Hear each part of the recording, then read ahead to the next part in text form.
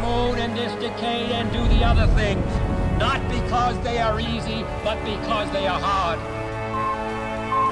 It's one small step for man, one giant leap for mankind. The road to space has been long and difficult. What came first and what comes next is an inspiring story of human innovation and dedication.